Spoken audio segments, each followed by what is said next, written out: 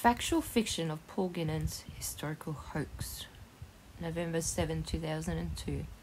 The core inspiration of the hoax is to profit in some way from the gullibility of people too empty headed to know better. To prey on the innocent, or the ignorant for that matter, has been a source of amusement and arrogance for cruel, shifty bastards since the beginning of time. As any fool knows, we've all fallen for practical jokes and impractical pranks at some point of our lives. This thing is, until you know better, you don't know shit and your easy pickings. For example of the greenhorns, who just don't know any better, would be a recent hoax involving numerous Portuguese women who hung outside their women's, bearing their naked breasts for all to see. Why? Because they received telephone calls from completely anonymous doctor who informed them that they were eligible for special mammograms via satellite. P.T. Barnum's classic line will never go out of fashion. Unquestionably, there is a sucker born every minute. Other hoaxes involve more sophisticated and harmful plots that can lead to personal injury or even financial ruin, which is more often than not into sinister categories of criminal mischief or outright larceny. Here are some examples like Boilerplate, the creation of a 39 year old com- comical artist and amateur historian Paul Guinan. Boilerplate is little known Victorian era robot that co- with luminaries of the period traversed the globe and shared adventures endeavors with the likes of Theodore Roosevelt and Pancho Villa. The robot's exploits are painstakingly chronicled in pleasant detail on Guinan's website. The site bulges with information, souvenir, vintage photographs, and written accounts dating from the robot's initial constructions, unveiling in 1893 to the mysterious disappearance during World War One. In the face of that evidence, the kicker is that boilerplate never really existed. As true as it all looks, it's just an elaborate hoax, and at times they're extremely funny. Mechanical marvel boilerplate outed. Boilerplate was a mechanical man developed by Archibald Campion during the 1880s and unveiled at the 1893 World Columbian Exposition.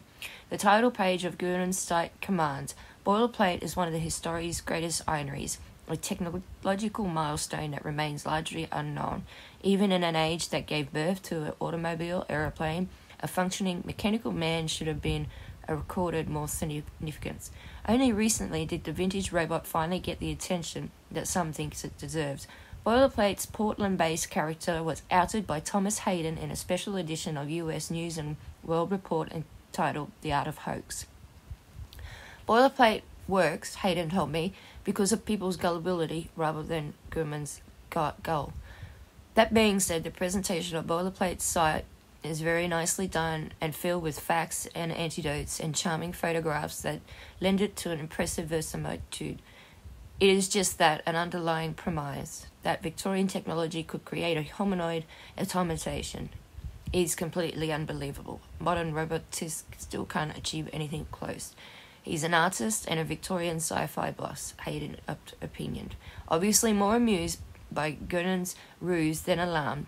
Put the two interests together and you get boilerplate, but you know, anything about the history of robotics or about history at all, really, it's immediately obvious that the site is a joke. The amazing thing is that some seemingly intelligent people believe it anyway. I don't think he really fooled experts per se, as in no robotist would fall for it. Historians who would fall fell for it presumably had no background on in technology, and I would imagine fired off inquisitive emails without really thinking about the possibility that the site was a spoof. Hayden's Hope direct detective advice: the first clue that something might not be true is the reaction. Oh my god, that's so freaking cool! I can't believe it's really true. If it seems too good, cool, weird to be true, hey, big surprise, chances it is. Old pride and embarrassment.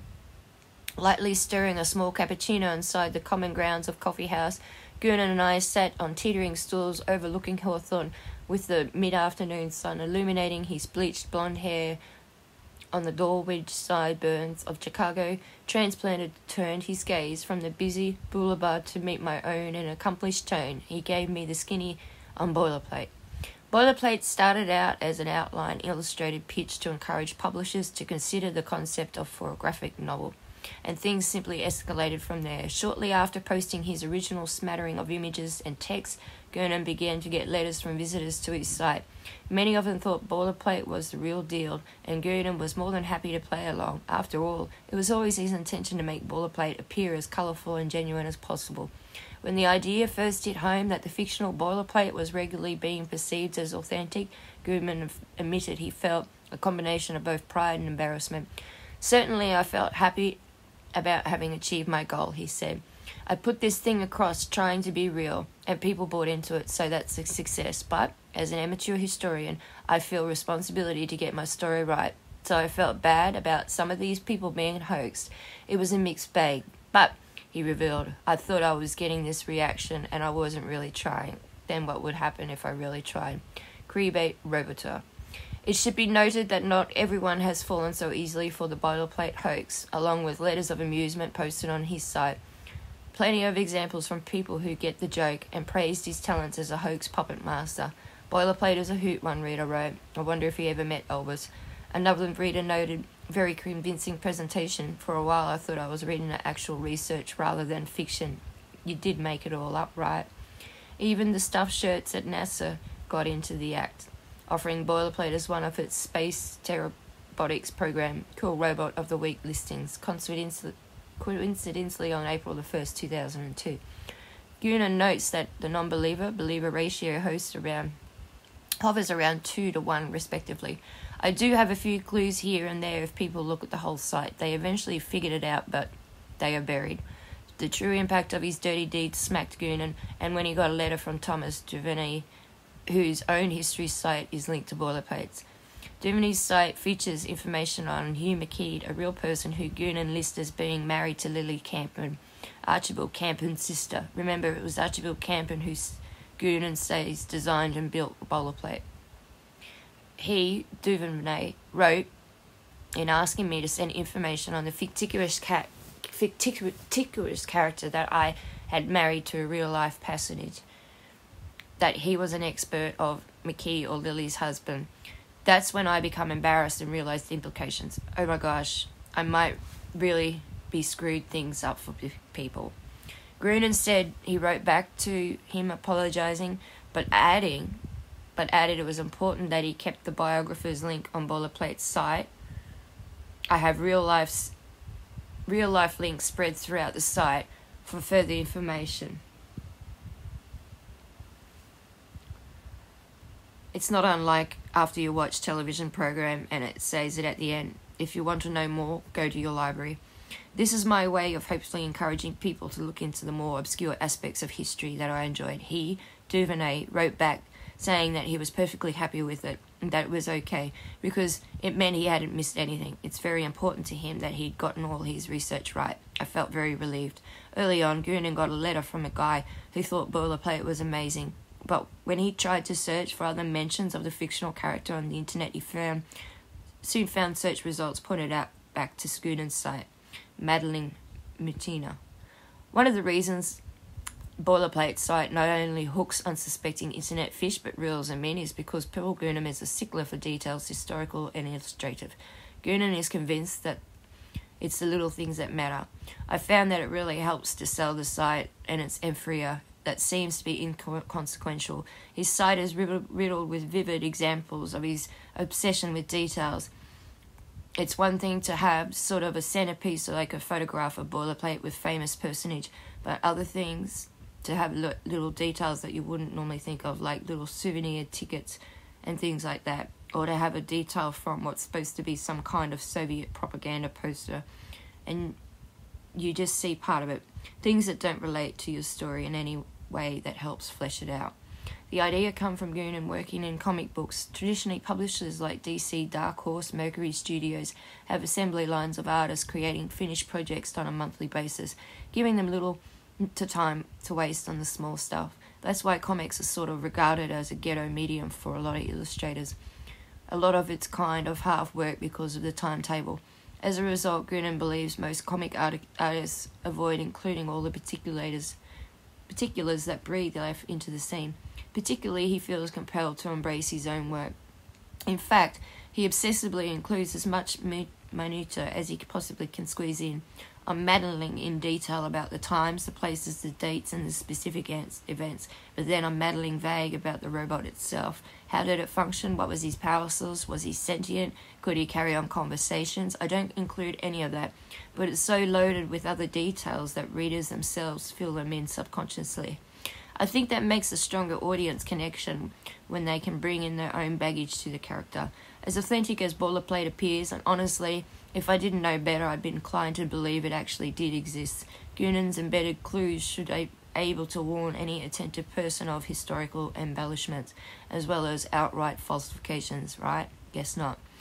There will always be at least some percentage of people who are going to believe it anyways. No matter what I say, it's like Orson Welles and his radio broadcast, The War of the Worlds at the top of the show, and halfway through the show, he made disclaimers, but people weren't paying attention. They were freaking out. It's all in the details, as it were. How Boilerplate really works. Well, while this inspiration often comes from fascination with Victorian times, which celebrated scientific innovations as well as sci fi themes in pulp novels, Guman's new perfect blend of historical facts, artistic executions, make Boilerplate's story even more convincing. Those pulp novels, of which his now become somewhat of ex- expert on, provide the basis for Gurnan's creativity. Boilerplate is done in that tradition, Gurnan chimed, presented as if it were a real blend talking advantage to the blurred line of what exists already. That's why I've integrated boilerplate into the storyline, Gurnan disclosed. It does not interfere with actual history. Any event I talk about, right down to the smallest detail, actually took place. It's just that they didn't have this robot standing next to them at the time. For instance, I have a sequence where I've talked about how at one point the US forces under General Pershing go into Mexico into a punitive expedition against Pancho Villa. During a combat situation, there's a machine gun trained on Pancho Villa and let loose a fusillade of bullets, and Boilerplate steps in front of the Pancho and manages to save his life. He prevents the machine gun bullets from reaching Pancho Villa except one which manages to get him in the leg. Well, Gurnan announced triumphantly that actually happened. That scene is exactly from history. He was attacked, he was shot in the leg, he was carried off that night, but there wasn't a robot.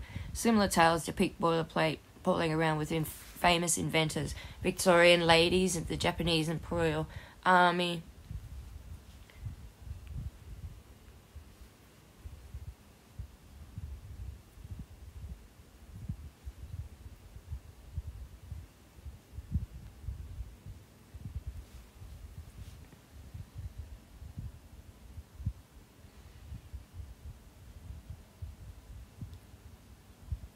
Arctic explorers and Toothy Teddy Roosevelt and his raid Rough Riders, among others.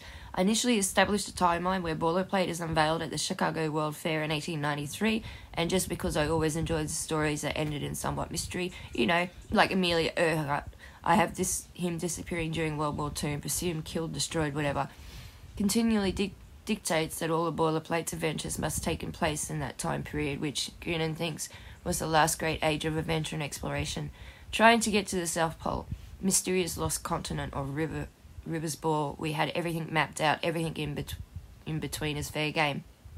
I pursue books from the period, and when I come across a storyline or in particular find a photograph that catches my eyes, once I choose a photograph that works for me and a storyline that works, then I go about doing Photoshop and composing and write a story around it. But again, he insisted it doesn't interfere with the real history. That's actually an interesting challenge to try and shorehorn, shorehorn a, f- a fiction into something real without affecting the outcome. A successful hoax. The flood of recent unexpected attention regarding Goonan and Boilerplate project has not only surprised him, he seems to have worked commercially with the results he even hadn't even imagined. It's entirely possible he was pulling my chain. I can be such a sucker for satisfactory conclusion, but as he liked the remaining foam as he licked the remaining foam from his lips, Goonan said he'd been offered a potentially lucrative deal, where Boilerplate was soon to appear in an oversized coffee table book depicting from its various exploits. Furthermore, Boilerplate was also featured in a pilot episode of upcoming television series Tactical Meter called Sci-Fi Show. And possibly the most surprising news to date, filmmaker Dan Jane who won the Best Feature Documentary for his film Chiefs at Robert De Niro's 2002 Tribeca Film Festival, has secured the rights to produce a full length mockumentary about Boilerplate. Ken Bernstall anticipate woefully so plans across Boilerplate's comically somber sepia tone plus and sincere quotes from voice actors portraying Victorian luminaries. In the light of this unexpected turn of fortune, it seems Paul Gurnan certainly has his future work cut out for him while he reinvents the past. Trust him to continue an interesting story, to turn people on history, and to have fun.